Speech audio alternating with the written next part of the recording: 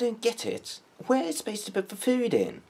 This is a Wavetek 1910 giant XY oscilloscope monitor, 12 inches worth of it, and uh, I got this thing for free from a pile of disused gear at the site, and uh, I figured I'd try to get it home and uh, get some utility out of it, which uh, has led me to realise that this very sadly is a device which has a rather bad coolness to utility ratio as witnessed by this very bad rendition of the Youscope demo. And there are two reasons for this uh, abhorrent performance, and first and foremost, it's got to do with the absolutely lacking bandwidth of this thing. It's got a vertical bandwidth of supposedly 15 kilohertz, and it starts to roll off before that. And it's got a horizontal bandwidth of uh, one and a half kilohertz, and uh, it turns way non-linear prior to getting anywhere near that. It's practically useless at uh, scanning speeds above about 200 hertz or so, which really limits its uh, potential for uh, any practical use, really. Which is a real shame because, as you can see, this is a, this is a very nice unit. It's in very good nick and it's got a long persistence phosphor. So if I turn the intensity down like that, it takes ages for it to fade. So it's got a fantastic look to it. But uh, the second issue which makes it almost unusable is the fact that uh, for whatever reason the horizontal and the vertical are not perfectly in phase if you try to graph something XY, you, you end up with all kinds of weirdness going on. Unless you, you are using extremely low frequency, like tens of hertz, when it's kind of okay-ish. But uh, anything beyond that, it just turns horribly out of phase and doesn't really give you any worthwhile results whatsoever. But I think it would at least do a little teardown of this thing and see what makes it tick. I have actually cheated and taken it apart to clean it out a bit because the controls were all scratchy and horrible. But they did clean up nice. Which makes it even more of a shame to say that this unit is so useless because I mean, it's it's in fantastic shape. It, I know that it has it hasn't been used for about a decade and prior to that it wasn't much used at all and everything feels perfect, it behaves perfect, uh, aside from the uh, face issue, which I haven't, I've got the manual for it, I haven't been able to figure out a way uh, which would uh, test whether or not that's within spec or not. And the cover comes off really easily, just three screws either side. And we're in. The Model 1910's most outstanding feature is its mechanical strength and electrical reliability. In the event of servicing is required in the field, maintenance personnel will find that the unit's single PC board construction, organized component layout, plus a comprehensive instruction manual all contribute in making this instrument easy to service, even for the relatively inexperienced technician. I do have to hand it to them that they seem to be quite true to their word, because there isn't much going on in this thing at all. On the left side we've just got a really anonymous looking high voltage can and two giant caps and two single little QT transistors hooking up to some heatsinks just to free aluminium case. And on the right side we've just got the main board with all the driver stuff and the vertical preamps and a giant transformer and that's about it. So any modifications made by the previous owner should be pretty easy to find out.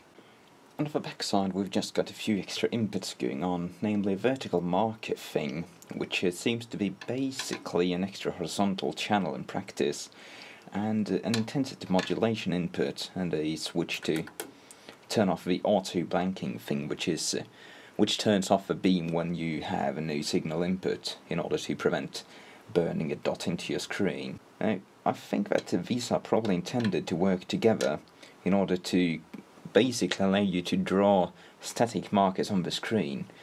Because if you run these uh, in phase, uh, you, you can basically move the dot to a specific place in the waveform and then put the pulse in on the intensity modulation input and basically just create a dot at the same place in the waveform every time. You can also use the intensity modulating input to just blank the screen if you're using it like an oscilloscope screen. So those are a pretty nice set of extra features which could definitely come in handy in many applications, but uh, you need a pretty high-tech sweep generator in order to actually make any use of them.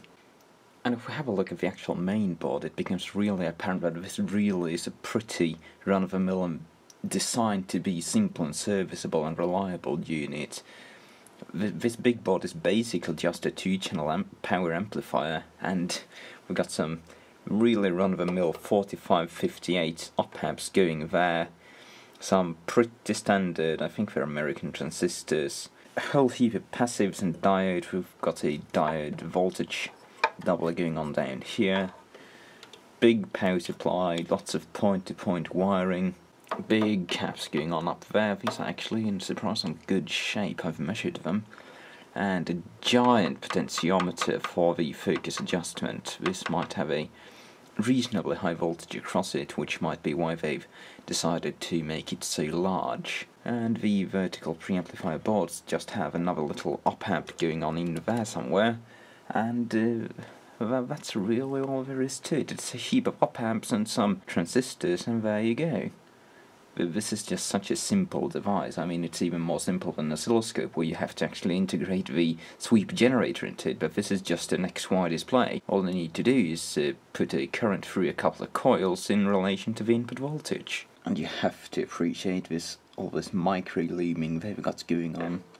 There's really no need to loom that little piece of wire, but they've gilded the lily and they've gone for it and the transistor around the back are just a really run-of-the-mill TIP 35 and TIP 36 pair uh, making up the vertical power amplifier. And the two giant 9500 microfarad caps make up the plus minus 32 volt rail which powers the two transistors. Ah, who needs regulators? Just throw a few more MFDs in there. And since this is a quite specialised piece of equipment, of course the picture tube's held together with electrical tape and they definitely haven't spared any expense with the switches. And the custom reticule comes off. Just like so.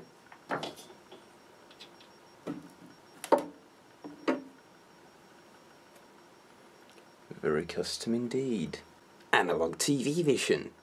And the real colour of a phosphor, a cool blue with green traces. That's funky.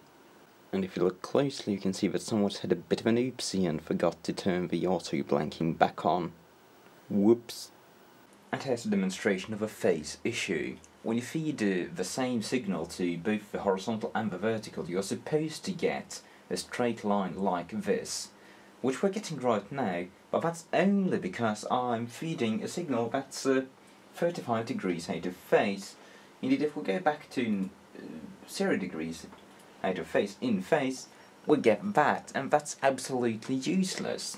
The issue is also present and identical with both the vertical channels, so I'm inclined to believe that it's actually supposed to be this way.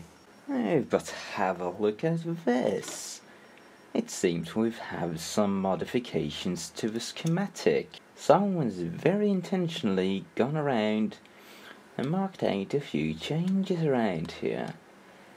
And right here we've got a cap across a resistor, which could indeed have something to do with our phase issue.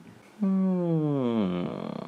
This unit has been used in a quite specialised production environment, uh, analog TV to be exact, so it's not impossible that they've specially modified it at all.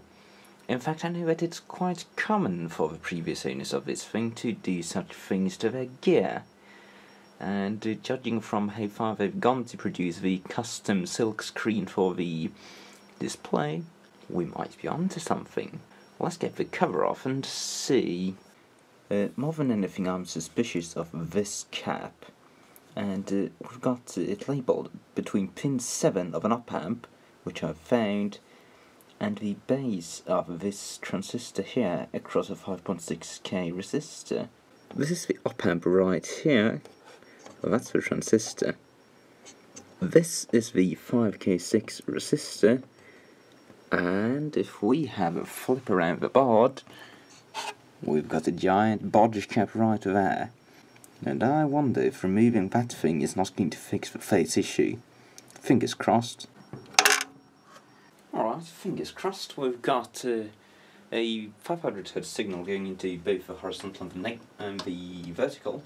So let's power on.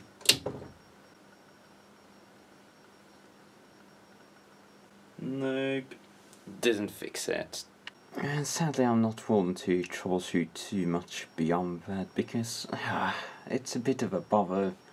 There's no silk screen on this board, so treating everything out is a real major pain. However, I am going to give a shot at replacing these two rather crusty, cracky, leaky Sprague electrolytics. Oh, thank goodness for the manual, because there's no sensible marking of these old caps whatsoever.